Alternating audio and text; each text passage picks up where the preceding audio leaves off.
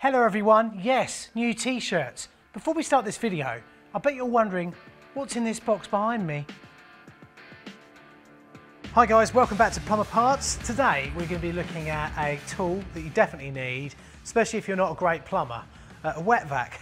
no, you don't need them just for that. You don't need them just for leaks that you've caused but often you'll need them for leaks that you've had to go out and fix. So what we're going to talk about today is this wet vac that I've got here. This is the Bosch one. I do also have a Charles as well, but it does, you know, the same old thing. This thing is utterly ridiculous. It's almost an air extractor as well. I mean, you can use it for hoovering, you can use it for wet vacuuming, and what I've also done with it is I've converted the end of it to go as a hood over when I'm doing welding, which is on my other channel, Times with James. So what we're going to talk about today is very quickly about how you use one of these, how we can change it over from dry vac to wet vac, and also some of the other little perks you can get by getting one of these, because these aren't cheap. This is the biggest one, I think it's the 50 litre, I can't remember, but you'll be able to find this on our Amazon store if you want to go and get one yourself. So without further ado, let's get on with this video, and remember to hold tight. Here we go. So number one, beautiful wheels for us to get in and out. Very, very handy indeed. And a nice little handle as well. So if you want to sort of get it on its back, you can lift it upstairs, that sort of thing. It's got some bits in there, but it still probably weighs about 20 kilos, 25 kilos. So, you know, it's not a negligible amount of weight. Um, another thing that I'm sure the manufacturers never thought of was it makes for quite a nice table as well for you to put things on like cups of tea, stuff like that when you're working. Important important. It does have locking casters on one side, so you can pop it in, lock it, and then it won't move. Very, very simple. To get the front suction bit on here, we've got a cover just on here like that. You just pull that off. It's got like a little rubber bit in there. And then to get this connected in, you just pop it in and it's a quarter of a turn. And there you go, that's now locked in, ready to use. The hose on it is ridiculously long. Um, and I've been able to keep this outside, away from where we're working, um, so the noise is down, but also have this hose going all the way through. And if we look at this, you're to have to follow me for a sec here, Harry. It's a very, very long hose. Um, when it comes to the end connection, you've got the special connector that, I mean, basically fits to other Bosch tools.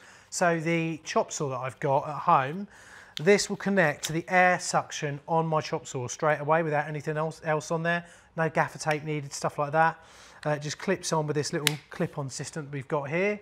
When it comes to this bit, simple. It's just push on, in it goes, and it's all ready to go. Don't push it too hard, guys. It'd be literally impossible to get off. The bottom piece here you can take these bits off, these brush bits off, because this is set up for dust extraction at the moment, and put special vane louvers on there. So similar to what you get on a windscreen wiper on a car, and then that'll be then set up for wet vacuuming if you're taking a flood up or something like that. Um, and what we'll do, we will pour a little bit of water on the floor in a second's time so you can see it sucky suck. Uh, I just I only want to point this out because it's so thick. The lead on here is ridiculously thick. Um, so I think it must suck quite a lot of electricity as well when it's working, um, which it must be why they've got that on there. Little 13 amp plug in there, absolutely beautiful. We've got a few little clippy bits on the back, so you've got your, your smaller, I don't know, what would you ever use that for, Harry? What would you use that for? Cleaning the side of the seats in the car. Cleaning the side of the seats in the car or in the van. Whoa, whoa, whoa, whoa. It's getting annoying now, isn't it? You're like, oh, what could be behind him? Is this box? Um, so there you go.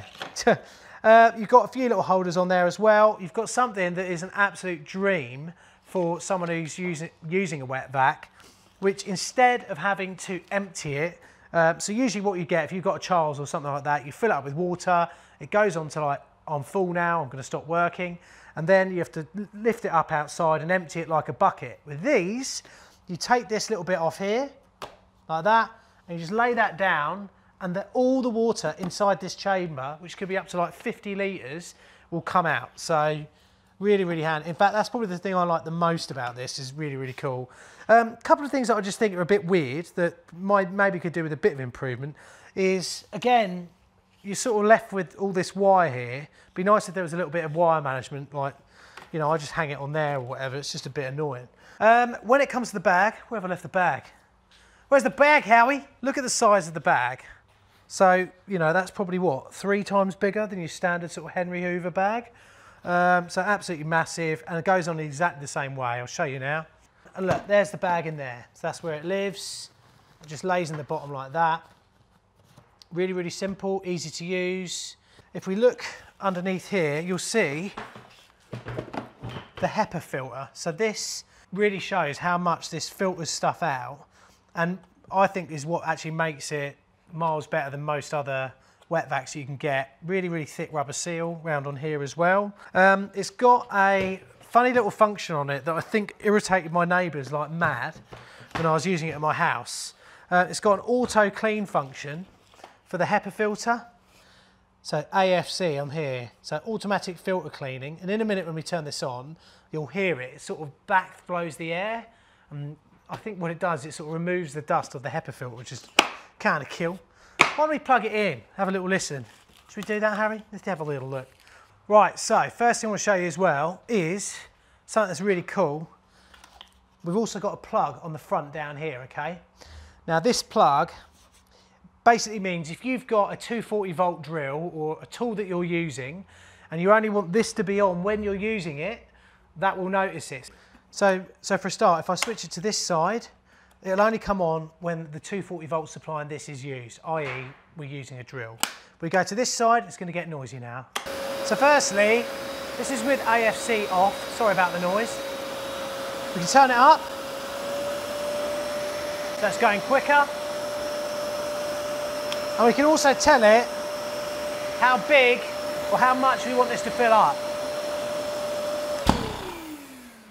If we want to use the filter cleaning function, that'll automatically come on when we switch this on. You'll see this little light come on, and then you'll hear it thud three times. Every so often, so it'll go boom, boom, boom. And it also always cleans it out when you turn it off, which is that sort of farty noise that it makes when you switch it off. Does sound like it's had a lamb balti, which is possibly my favourite curry. Comment below, what is your favourite curry? So look, let's have a little hoovery sesh. Look.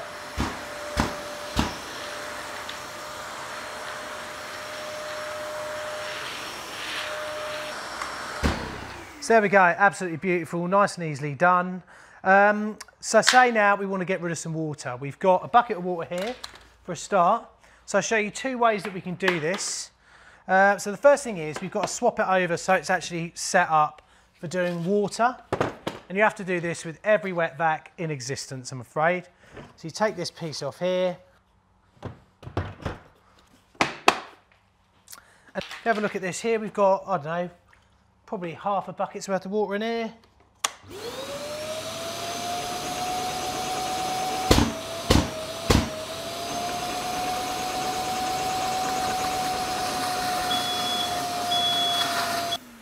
Bleeping is kind of like a warning bleep to let you know that it's like, oh, I'm sucking a lot here. Are you sure I should be sucking now? So you can ignore it. But look, we've done that whole bucket there.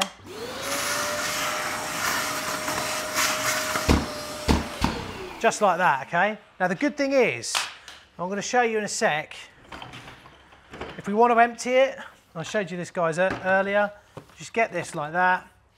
You actually see the water, look, there it is, the water's there. And look, you can just let it out onto the floor like that, outside, or wherever you are. But also now, I can show you the sucky suck if, if we've had a nice little floor accident.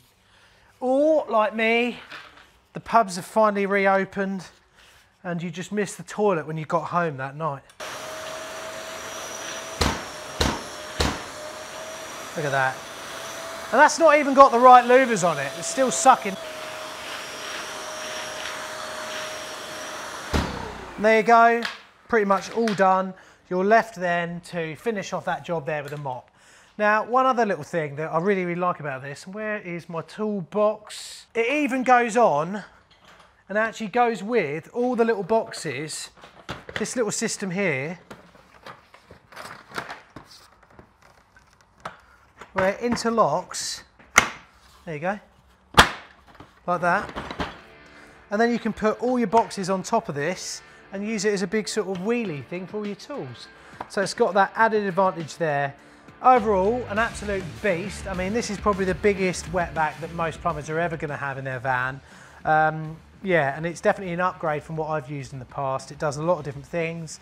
Like I said, I've used it for everything from sorting out leaks, sucking out toilets, sucking out heating systems, but also then using it for cleaning up dust, bits and bobs like that, and overhead extraction for when I'm welding. Although I'm not 100% sure I should be using it for that, but it's mine, isn't it? I don't care. So if you want to get one, it is on the Amazon store.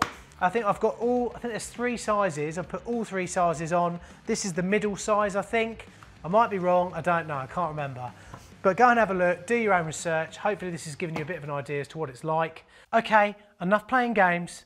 Let's find out. Is it Serenity? Is it a lost invoice? Is it a check from the Inland Revenue? No, silly, it's miles better than that. It's the new ITS catalogue. It's bigger and better than ever with over 200 brand new pages added. There's unmissable deals on everything from workwear to lawn and garden, including over 250 pages of Pornhub, I mean power tools. Place an order on their website and get yours sent out today. Or check out all the latest deals online using the link below. Anyone who gets the ITS catalogue is probably going to be ostracised by their family because they keep sitting in the downstairs toilet reading it. Plus, they'll buy loads and loads of tools as well, especially since you can get next day delivery when you order before 7pm. They've got over 90,000 five star Trustpilot reviews, and they're the home of the Screwfix and Toolstation price promise. ITS will never be beaten on price by any of these stores. So, why don't you check them out, bruv?